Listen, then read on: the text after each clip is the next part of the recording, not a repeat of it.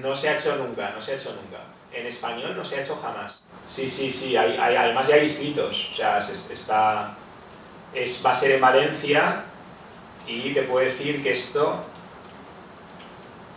Aquí es mis argeos analizados por mí constantemente, con pudiendo rebobinar, porque es que es para, para que veas que al final yo solamente uso un 2%.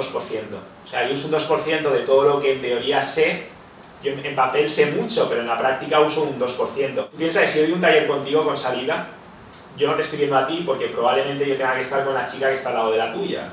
Con lo cual mi atención sobre ti es un porcentaje bastante reducido. O sea, yo me pierdo gran parte de lo que tú haces. Y tú sobre mí lo mismo. Lo mismo porque no, tú no puedes ver lo que yo hago. Tú tienes que estar, no, eres un espectador invisible. Si fueses invisible sí, pero como no eres invisible no lo puedes ver. Con el Decoded eres un espectador invisible. Y no solo eres un espectador invisible, sino que además podemos parar, podemos preguntar, podemos explicar cada cosa, porque cada cosa que yo hago, hasta la cosa más tonta, tiene un porqué.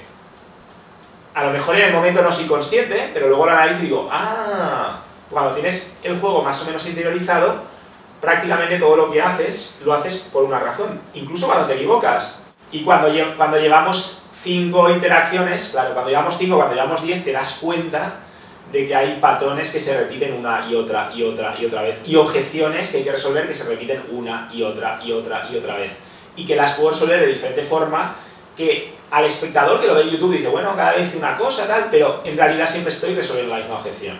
Y todo eso lo ves, por eso se llama decoder, porque es que ahí de verdad ves de Matrix.